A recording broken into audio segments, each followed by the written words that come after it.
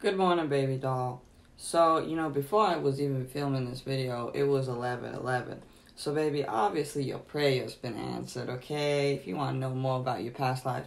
So, baby, there's going to be a lot of things that I'm going to break down for you. Baby, your past life. Sag Male, he wants to know about his past lives.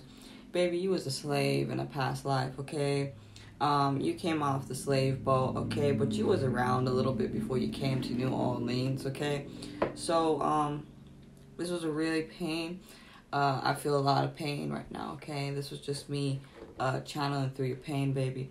And so, um, a lot of people took advantage of you, and that's what's happening in this lifetime, baby doll, is um, you feeling powerless as you did in a past life. But yes, baby, um, so that movie, 12 Years a Slave, it is about you, but hold that thought, baby doll. Not all the story about you is accurate, okay, baby? So it's not um 100% accurate, okay? So understand you take what fits for you and what resonates for you in that film. I'm trying to tell you so that way you don't get soul lost, okay? Because um when I was tapping into my past life, people try to make me soul lost. Well, great about they don't do that because you know they know better not to mess with my shit. But but yes, baby. Um, they got a lot of nerve to mess with you though.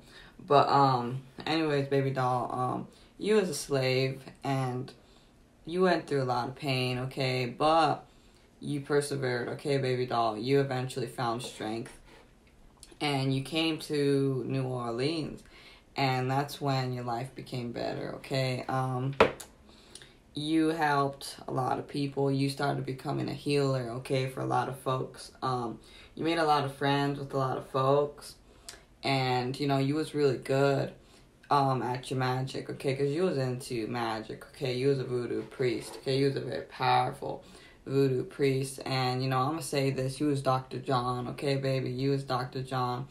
Um, there's not much about him, but it's because they was purposely burning documents, you know they they like to have a lot of nerve to do that, baby. But you know, you you already know, you know who you are right now. So you just laughing about it and you're saying, well, that looks like they did it to themselves. see, baby, that is what it is. You see, they didn't mess too much with me because they was afraid what would happen. But yeah, baby, they crossed you, okay? These are Illuminati folks. But yes, baby, you had a lot of friends. But here's the thing uh, you needed to know about the friend, your friends, okay? Because your past life is coming in this lifetime. Baby, you've been too nice, okay? You've been too nice to folks that were not good to you, baby. They wasn't good to you behind your back. So, baby, you had a lot of friends, Louisiana, but you was the only one that you the only one that could you could trust is me, baby. Okay, and the people that I knew, okay, because it was pure souls. But baby, you were around some folks that didn't have your best intentions, okay? These were other slaves that went from their own trauma and they asked for your help and guidance, and, you know, that you gave them everything, baby, but you have to, you know, in that lifetime they put a knife in your back, okay? So understand if you're attracting sorrowful people in this lifetime that are really depressed, um, in a past life they betrayed you, baby. So all the friends that you were around in this lifetime, um, they took advantage of you, okay, and they bought into the Illuminati tricks, okay.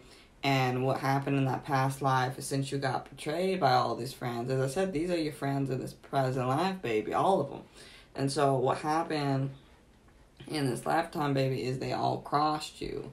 And you had no choice but to go to Marie Laveau, okay? And I had to take care of them for you and curse their asses, okay? And, you know, they ass never showed up at your door since then, okay? But I had to teach you a little bit more about your magic and make you remember your own power.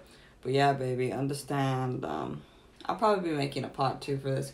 Why not? Let's make a part two.